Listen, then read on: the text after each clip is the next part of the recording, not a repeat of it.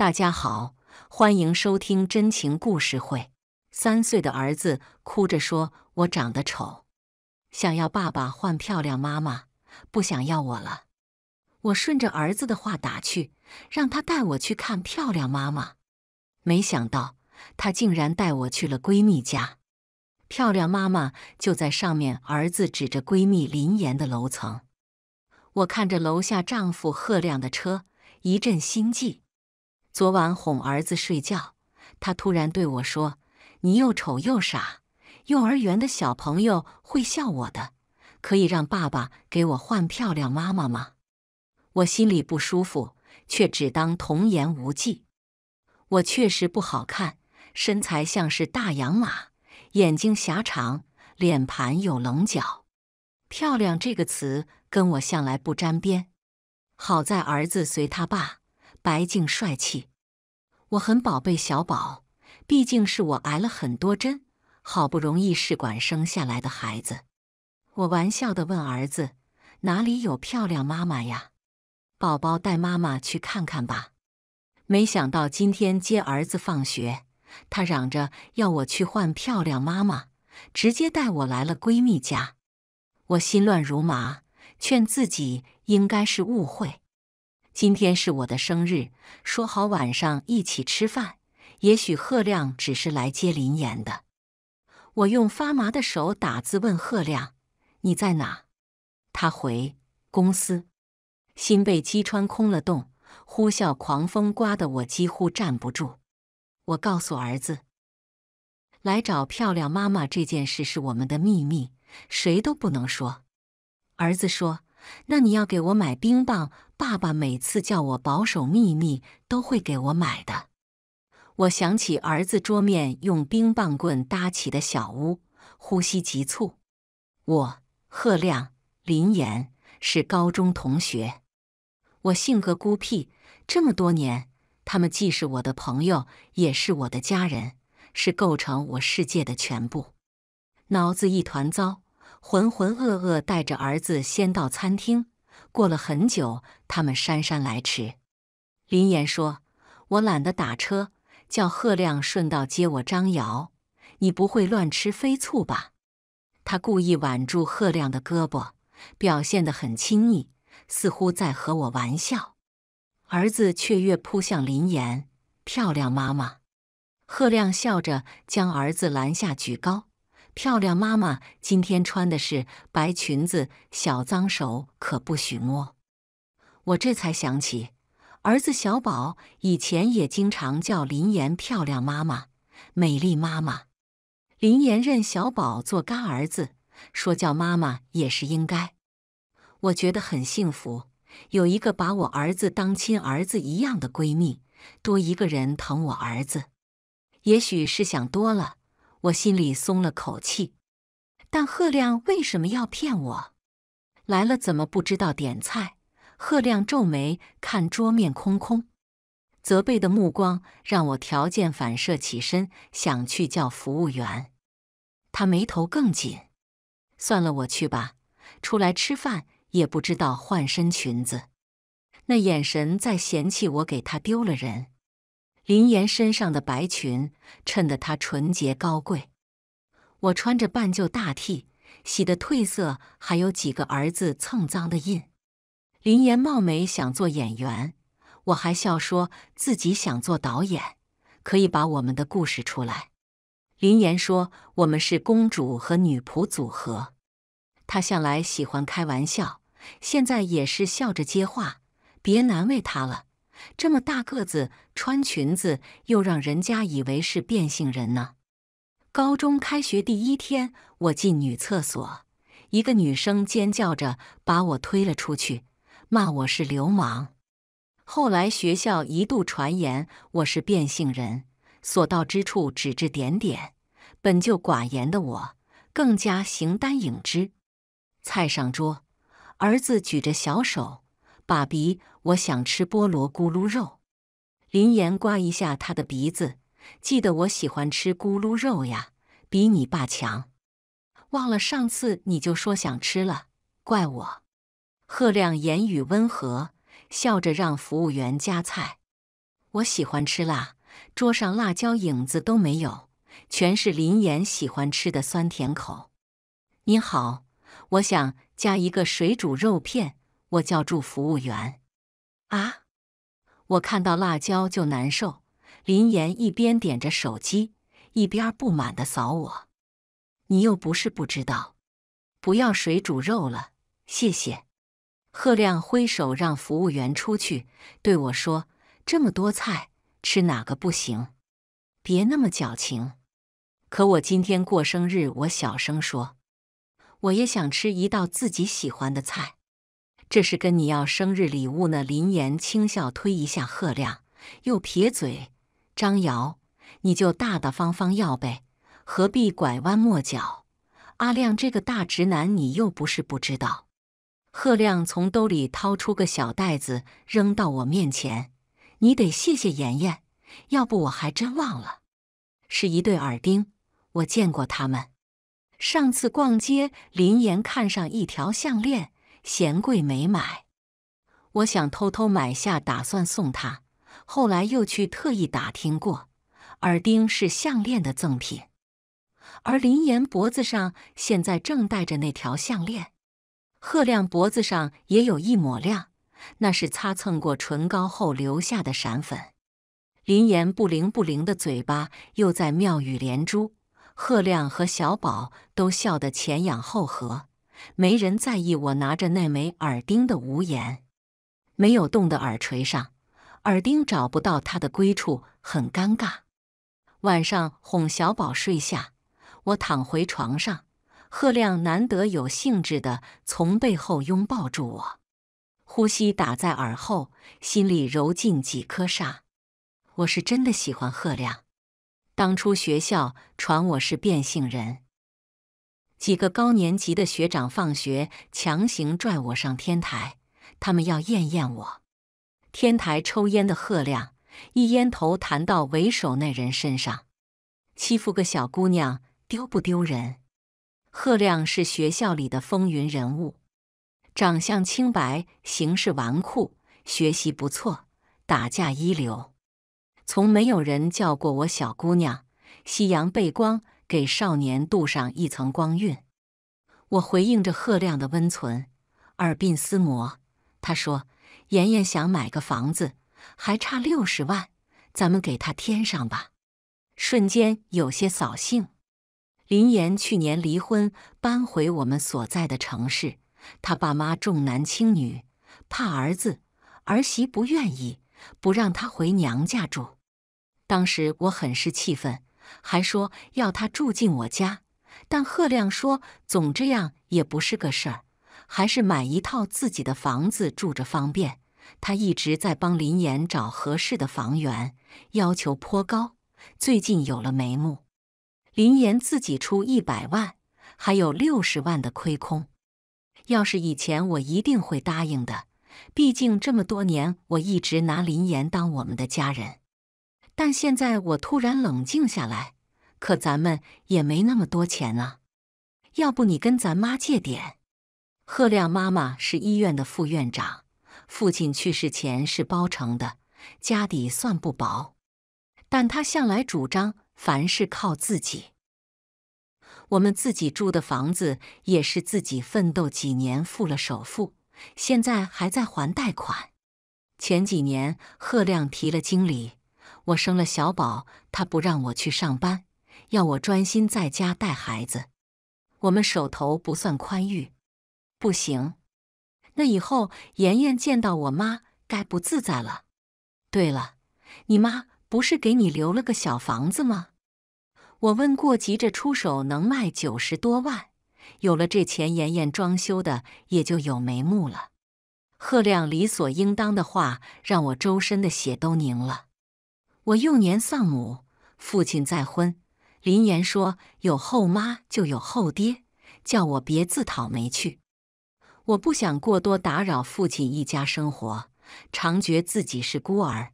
小房子是妈妈给我留在人间最后的怀抱，可我不想卖房。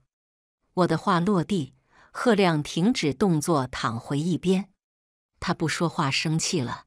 我学着他刚才的样子，想要讨他欢心，被他不耐烦的推开。挤什么？这么大床不够你睡？妍妍还租着房子，你却想那种事？说什么好朋友，真是恬不知耻！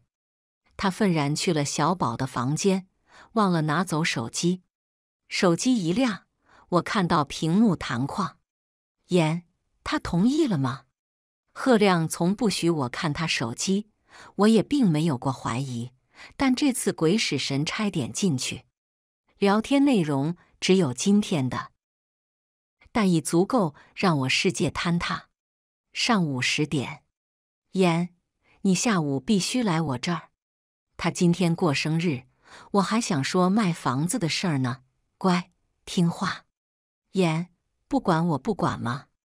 呜呜，一想到你晚上要和他，我就难受的要命。我不管，他只能吃我剩下。什么时候都是。我再问你最后一次，来或者不来？好，好，好，大小姐，真是拿你没办法。等我。下午七点十分，给你带了小惊喜。言还不如儿子记得清楚我想吃的菜哼。下次罚你坚持三分钟再坏笑。言他怎么那么烦啊？明知道我不喜欢看见辣椒还点，见不见啊？你这小暴脾气啊！言你惯的活该。拿着手机不住的颤。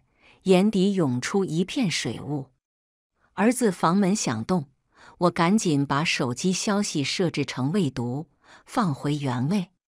贺亮进门的时候很慌张，直到拿起手机点开，才长出一口气。你如果真的不想卖那套房子，那就卖掉现在这套，反正这套写的是我的名字，我有权处置。那我们去哪住？我问。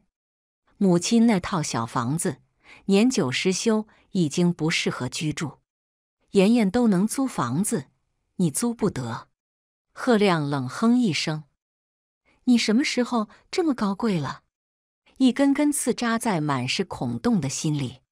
我突然说：“贺亮，当初有人逼着你娶我吗？”贺亮愣了一瞬，恼怒吼道：“你有病啊！”他们聊天中有一句。好好好，大小姐，真是拿你没办法。当初还不是你让我娶她，一夜未眠，脑子乱得像锅粥。高中贺亮为我打架，背了处分，我心里不安，拿着全部的零花钱给他，想要补偿。他双臂长倚栏杆，看我浅笑。张瑶同学，这是要买我？他身边的林岩笑得眉眼弯弯，接过钱揽住我的肩膀。他是我小弟，以后我照你走，去买汽水喝。林岩漂亮的耀眼，他和贺亮看起来很般配。我本没有妄想的，是林岩问我：“哎，你喜欢阿亮吗？”别不好意思，我和他是哥们。你喜欢我帮你追啊？我低着头，红了脸。不敢说话。后来学校传言我癞蛤蟆想吃天鹅肉，说我不要脸。他们把我关在卫生间泼脏水，在我凳子上洒红墨水，水杯里灌尿，桌子上写满骂我的话，床铺上扔上用过的卫生巾，书洞里奄奄一息的老鼠。我觉得自己就要被逼死了。是林岩站出来跟他们说。都是同学，别太过分。但那些事儿还是影响了我。本来不错的学习成绩一落千丈，尽管我努力调整追赶，最后也没如愿考上导演专业，只考上一所普通院校专业。但惊喜总在下一个拐角。发挥不错的贺亮竟也报了这个学校。我们和林岩同在一个城市。他如愿以偿学的表演类，不过没念完大学就嫁给当地一个老板。结婚典礼上，我做伴娘，为了保护林岩，被伴郎团喷得满脸花，像个高大的小丑。贺亮则作为娘家人替林岩挡下一杯又一杯酒。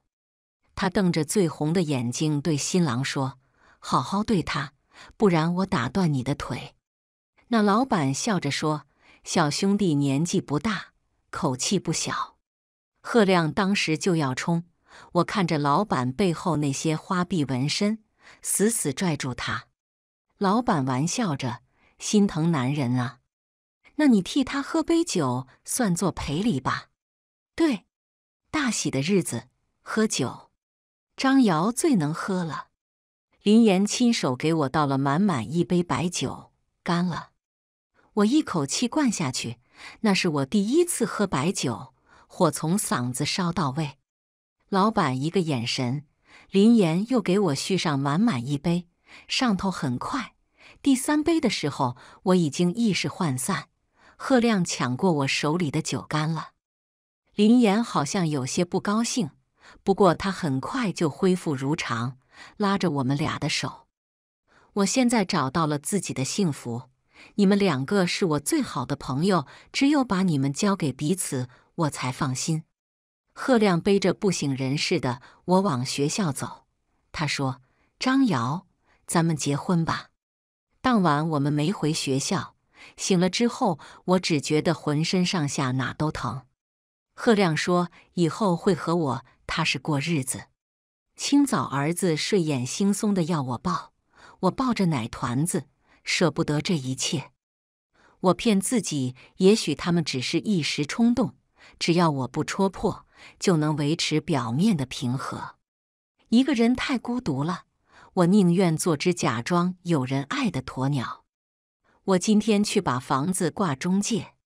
贺亮出门前轻飘飘地戳破了我虚幻的泡沫。我没接话。今天要带儿子去医院做幼儿园要求提供的体检证明。意外遇到了老同学，他挺着大肚子，满脸幸福地叫住我：“张瑶。”我却愣在原地。他是当初把我从卫生间推出来叫我变性人的那个，也是后来无数痛苦回忆的始作俑者。他无视我的僵硬，亲昵地拉着我家长里短，仿佛我们当真是亲密的老同学。同学聚会，你怎么从来不来呀？什么同学聚会？没有人通知我。你说人多奇怪，小时候大家一起玩闹。现在转眼我都要做妈妈了，玩闹。他看我面色冷淡，欲言又止。有些事儿真是缘分哈，就像当初我们开玩笑赌你几天会喜欢上贺亮。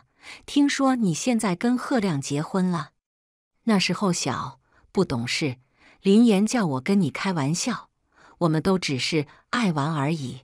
你都和林岩是好朋友了。也一定不会把我们那些小事儿放在心里吧？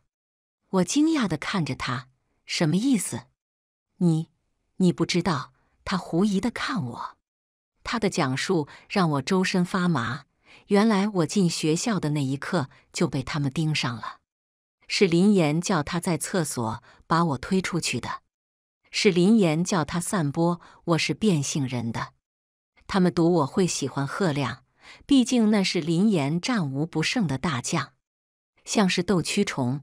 他享受看着那些女孩喜欢贺亮，但贺亮心里只有他的忠诚。我没有入戏，他就强制拽我进剧情。他安排人拉我上天台，他安排贺亮出手救我。林岩拉我出来的噩梦，本就是他一手编造的。后来他找到了结婚对象。但他依旧不想放手贺亮，没有谁比我这个傻子更适合跟贺亮结婚。贺亮爱他，爱到可以听从他指令活自己的一生。但为什么拉上了我？医生说我这一胎不安稳，我已经流产两次了。那个同学突然露出一丝哀求。我去拜过大师，说是孽债太多，正好我今天遇到你。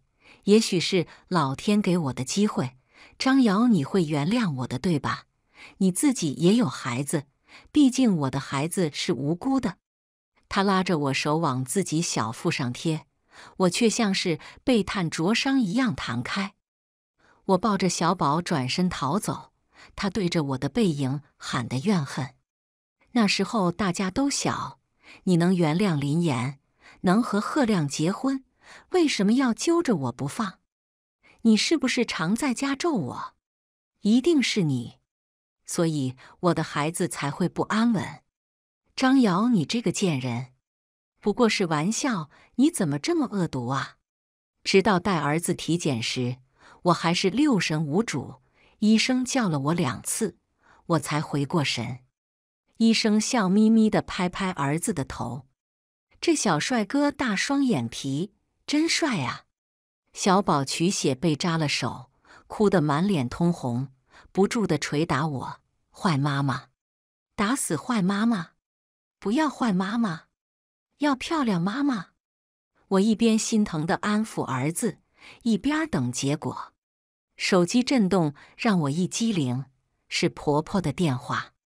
婆婆因为我是单亲家庭，对我不甚满意，鲜少联系我。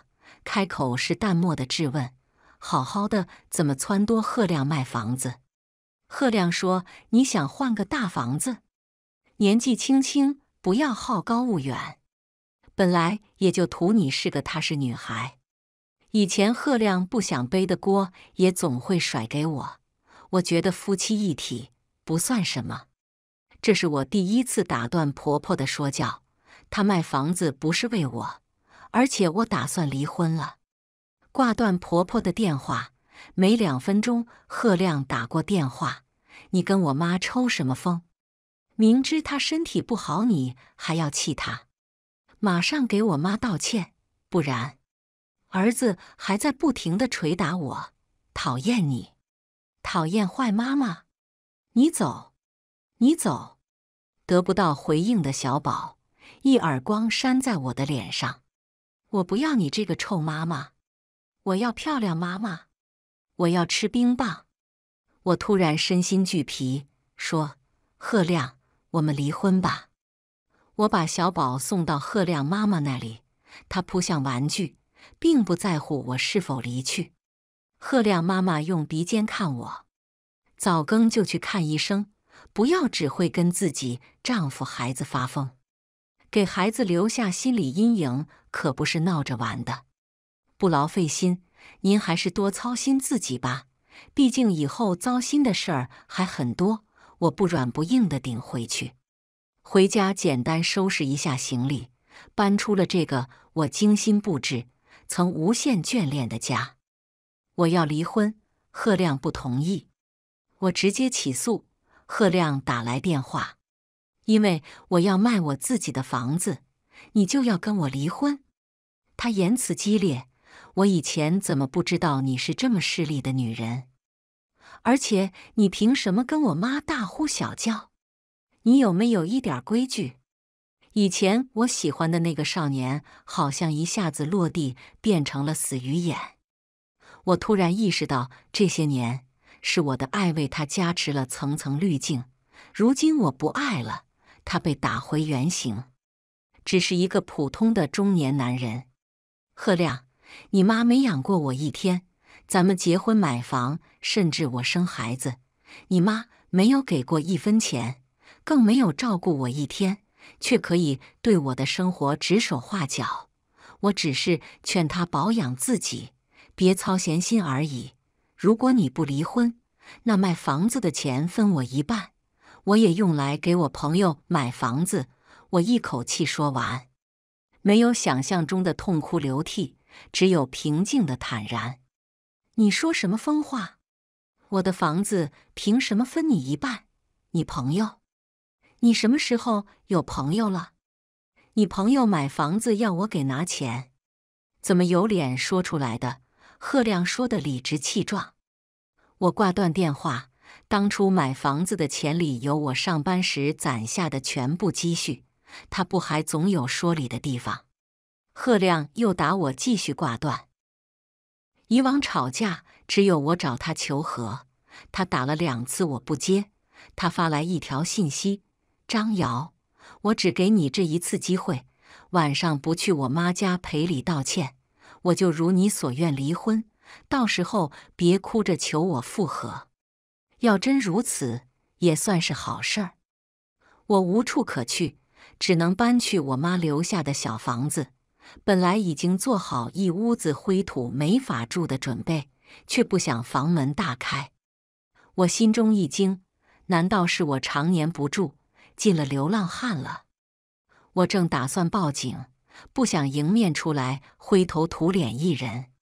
我爸，前两天我给他打了个电话，这房子说是我妈给我的，可那时我还没满十八岁，房子一直是我爸代管。我去祝总该知会一声，这么碰面，我俩都没想到。你又出去抽烟，孩子这两天就回来了，你还不赶紧？说话又出来一个女人，是我爸的二婚对象梅姨。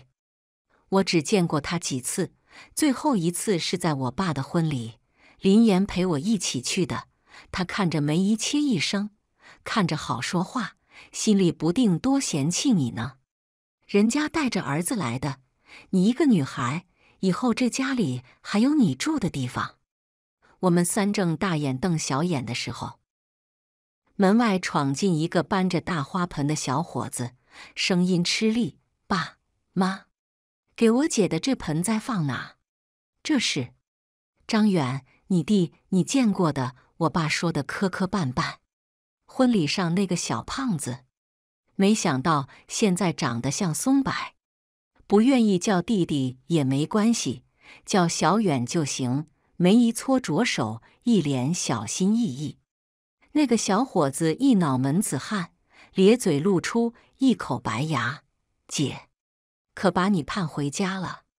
这次离了就不复了吧？”梅姨一巴掌把他扇得龇牙咧嘴。不会说话你就闭嘴当哑巴。张远给自己拉上嘴巴的拉链。原来我爸听说我要回来住，心里就猜到是婚姻不顺。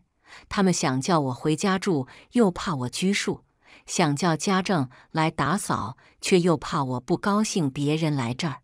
索性仨人热火朝天干了两天。我看着张远抱回来的是颗金桔。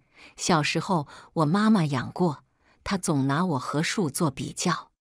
妈妈是病逝，我爸尽心竭力守了很多年。看着面前这个小老头，我有什么可埋怨他的呢？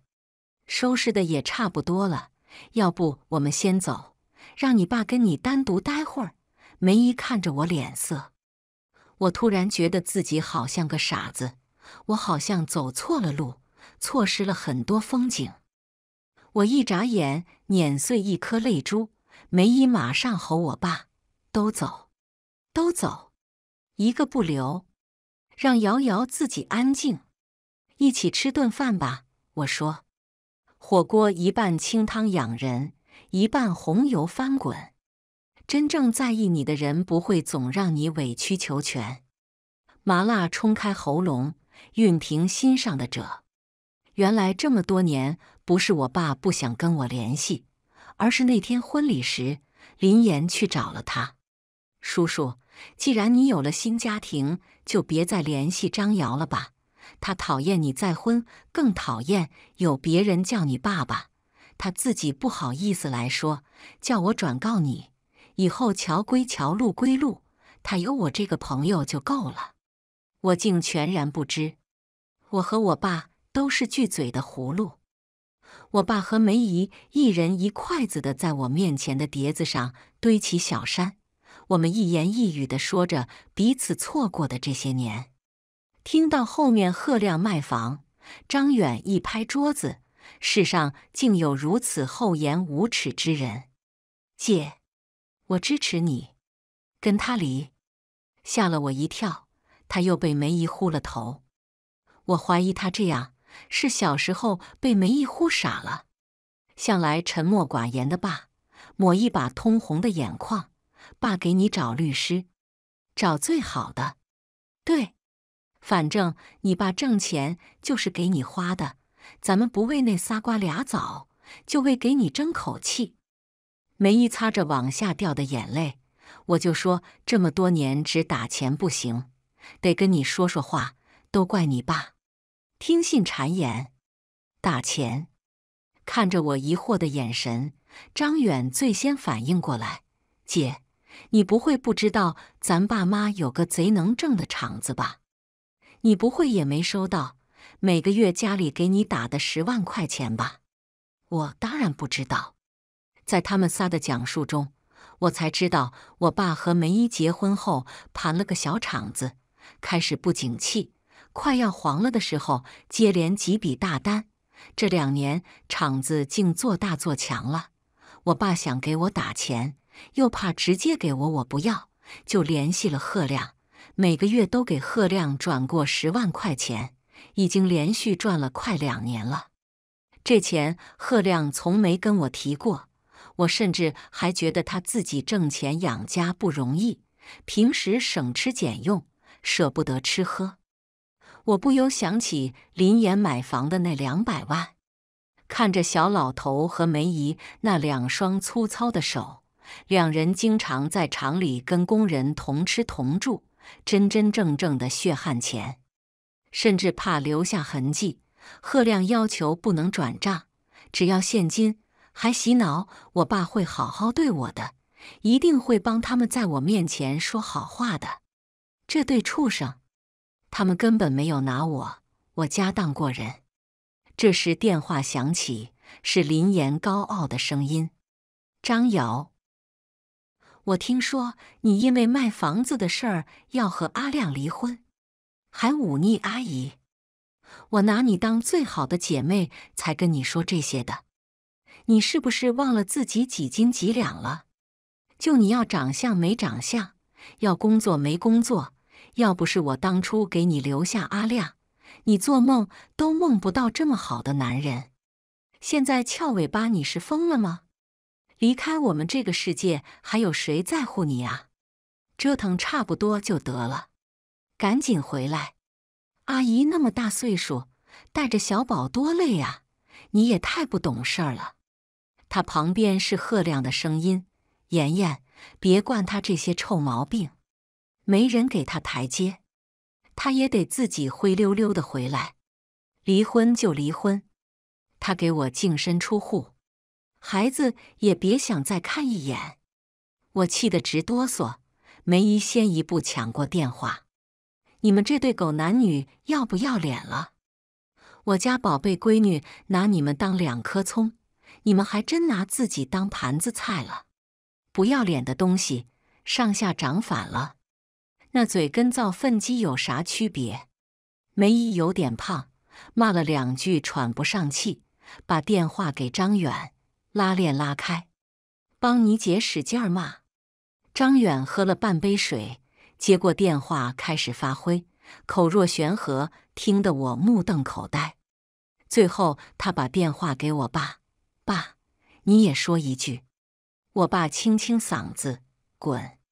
张远利落的挂了电话，点评我爸：“您刚才骂的像挂。”本来剑拔弩张的气氛瞬间破防。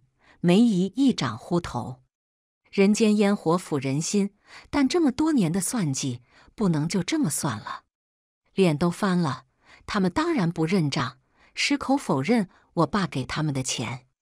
不过离婚官司，贺亮倒是没有过多纠缠。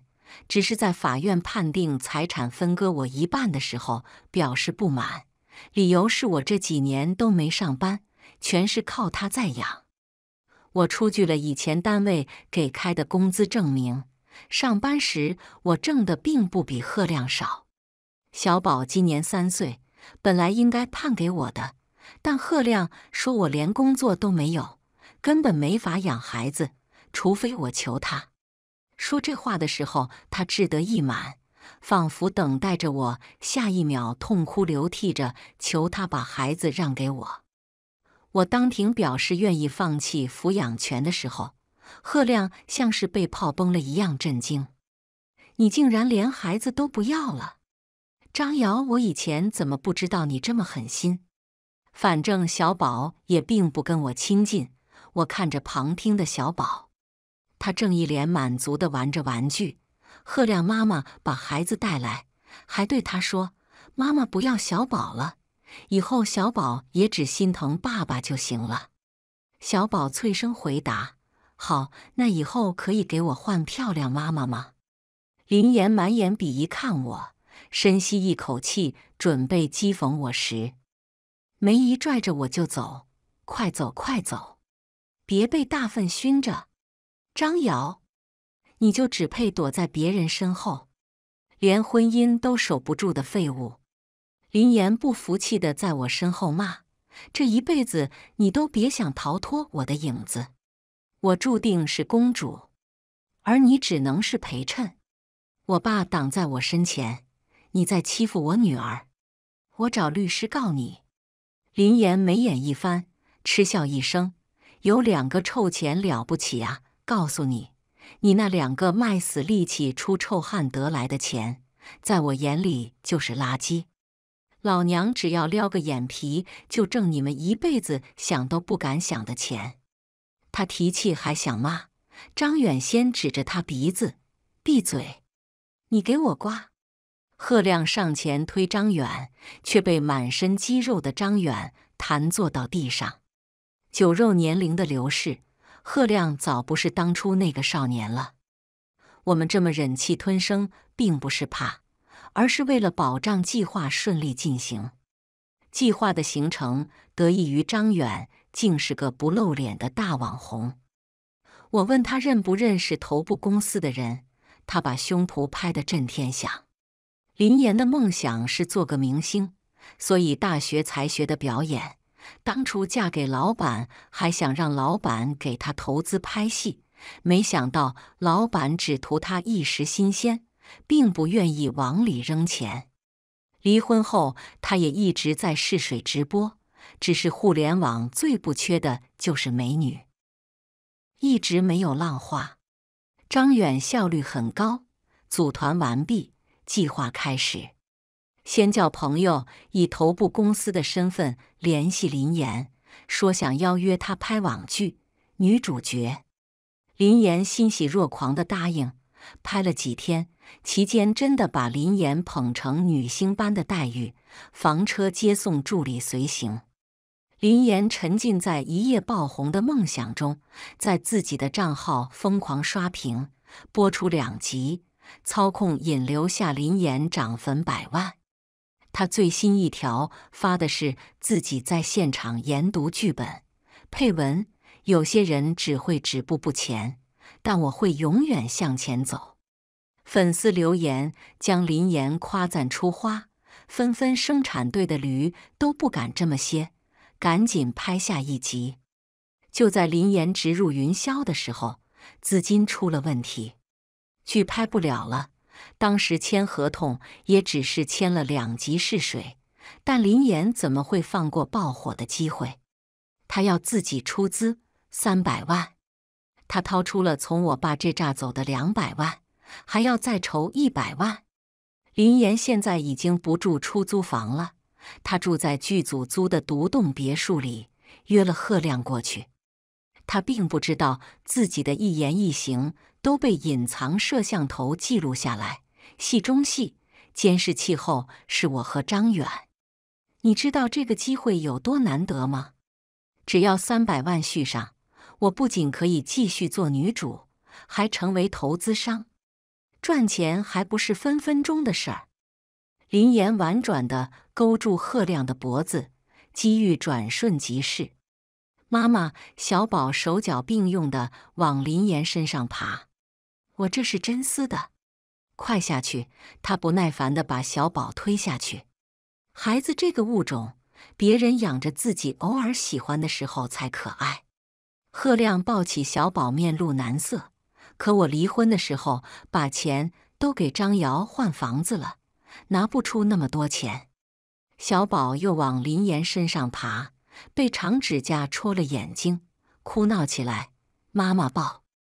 往常这时，我都会赶紧把他抱起来，再轻轻的呼吁。现在林岩皱眉烦躁，骂道：“哭哭哭，就知道哭，烦死了！你能不能对孩子耐心点啊？”贺亮皱眉，以前张瑶从不会这样。林岩眼睛一瞪：“哟，吃屎上瘾啊！”贺亮没说话。林岩眼珠一转：“孩子不是在你手上吗？孩子病了，他能不拿钱？毕竟他可是孩子的妈妈。”他眼神满是寒光。林岩，贺亮像是被吓到：“这可是我们的孩子，你当初答应我的，给我的专属礼物。我妈为了把你的卵子放进张瑶身体，孕育出这个孩子。”可是赌上了自己的后半辈子啊！我日！张远怒斥一声，握紧双拳，当即就要冲过去。我拽住他，异常冷静。上次在医院的时候，我就知道了。小宝一巴掌扇醒了我。两个单眼皮的人生出一个双眼皮的概率有，但不大。况且小宝长得越来越像林岩了。我做了亲子鉴定，小宝不是我的孩子，所以离婚时我毅然放弃抚养权。可怕呀！我用身材走样、挤压器官、命悬一线换来的孩子是林岩的基因，哪个母亲会怀疑自己怀胎十月生下的孩子不是自己的呢？没过两天，贺亮给我发来了小宝的病历化验单。有他妈妈在，几张伪造的病历又有什么难？给我打来视频，小宝病了，需要手术，大概得要一百万。张瑶，你不会这么狠心吧？视频中，小宝躺在病床，戴着吸氧面罩，忽闪着大眼睛。没钱，我说。张瑶，你是畜生吗？林岩夺过电话。你爸那么大的工厂拿不出一百万，小宝可是你亲儿子，你要眼睁睁看他死吗？小宝也叫你妈妈呀，你手里不是有两百万吗？舍不得拿出来，还是贺亮的房子舍不得卖？我冷漠地看着他们，你简直不是人啊！你这些脏心烂肺话，有本事你对你儿子说。林岩又叫小宝跟我通话，叫妈妈，快叫你妈妈救你的命啊！小宝伸手要扯面罩，林岩不动声色地扭他的嫩肉，小宝哇一声大哭起来：“妈妈，我要妈妈，妈妈抱！毕竟是我生下的孩子，我养了三年，当做心肝的宝贝。小宝，你以后愿意跟着妈妈生活吗？不要。”妈妈丑，不要丑妈妈，我要漂亮妈妈。小宝对着林岩伸手，孩子的话是大人背地里多少次的潜移默化。你要个爸爸！林岩大骂，画面中断。一夜之后，我被网暴了。林岩利用自身的流量讲了一个故事，故事里我是一个自卑、敏感又阴暗的人。而他与贺亮是我救赎的光，甚至当他知道我喜欢贺亮的时候，主动将贺亮让给了我。没想到我却是一个眼中只有钱的女人，抛夫弃子，不肯给孩子治病。他还放出视频时，我淡漠说没钱的样子。他恳请大家救救孩子，大家一边买他橱窗的商品，一边骂我不是个东西。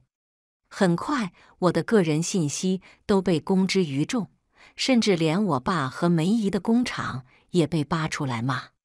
家里开着工厂，不管孩子的死活，这一家子都是没良心的东西。孩子是无辜的，不少人都去工厂门口扔鸡蛋和菜叶子。梅姨连夜放出圈养的鸡，饱餐一顿，口诛笔伐。已将我判了死刑。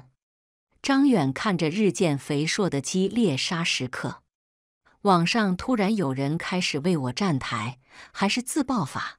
是那个老同学，他挂了我的热搜标签。张远头流，直播间人数瞬间破百万。他讲述了另一个完全不同的版本。故事里面，我是入校就被盯上的肉，他是刀。林岩是背后的操刀人，他讲述的很多细节过于生动，是伪造不出来的。由于内容灰暗，直播间数次被封。他说，如果需要，他愿意和林岩对峙。很快，舆论分为两边，有些质疑林岩，有人质疑同学。他们问他：“那你为什么要自曝这些丑事？是被张瑶威胁了吗？”他说：“是看不下去林岩的所作所为，所以宁愿自伤八百，也要公之于众。”其实是张远拐弯抹角找到那个大师，让大师跟他说：“只有这样才能保腹内胎儿平安。”林岩反驳说：“他只是蹭流量，没有任何实锤。”舆论拉锯到了顶峰。我预告开播，晚上七点，直播巨头都不带货赶来吃瓜了。我先是讲述了从高中到现在的真实情况，底下评论应接不暇，又是空口造瓜。你丑你说了算，外貌攻击你又算什么好鸟？林岩竟然主动和我连线，接通后，他目光灼灼地看着我。我本可以独善其身的，但是我实在是不能看着曾经的好友就这么误入歧途。好友，同睡一夫的好友吗？林岩，你恶不恶心？我先是放出了林岩和贺亮的聊天截图，那天我就保留下来了。林岩冷笑，摇头。这东西谁都可以 P，算什么证据？真没想到你为了不管孩子，竟然这么丧心病狂的污蔑我们。评论区都是骂我的，甚至还有个别说张瑶长得这么丑，就算是贺亮出轨也不是不能理解。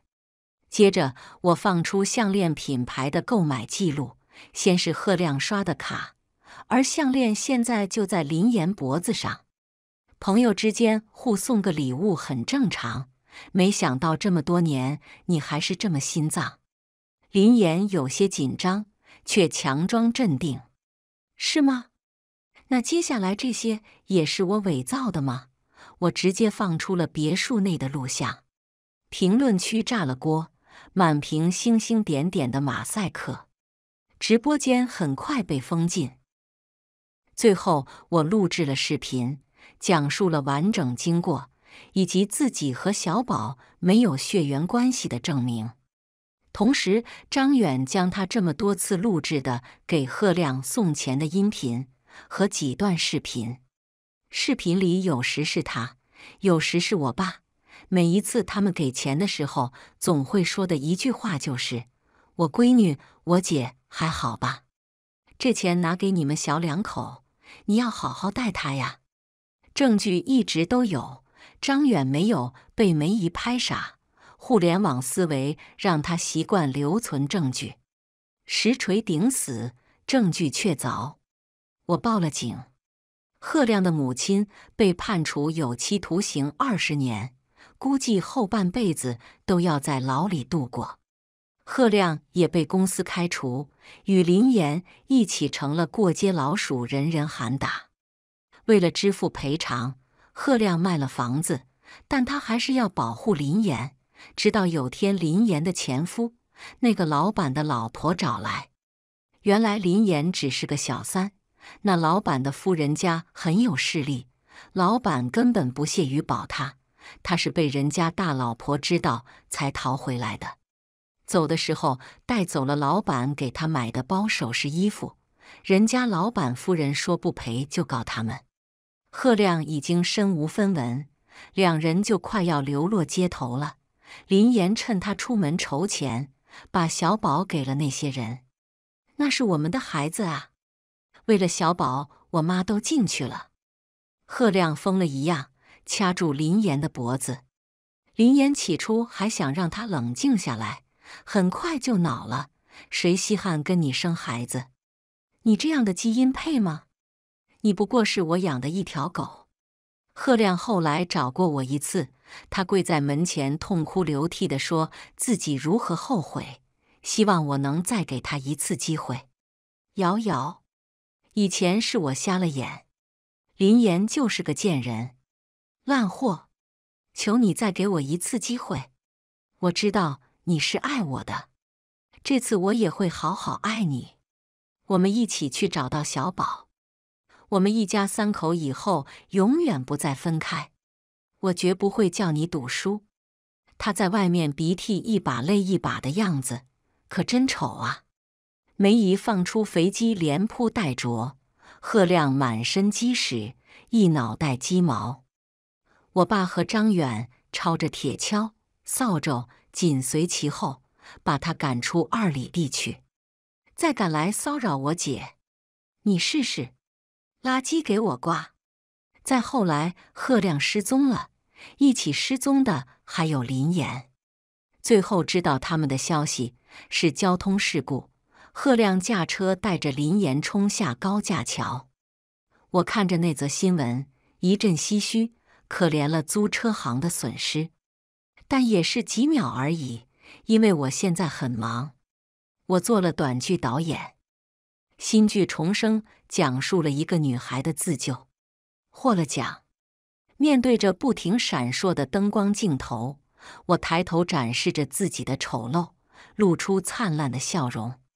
台下是我爸、梅姨和张远都在为我鼓掌。哇，那是谁呀？像是超模一样，可真有力量。一个女孩小声问。那是我呀，那是你呀，那是每一个走出阴霾、勇敢女性的模样。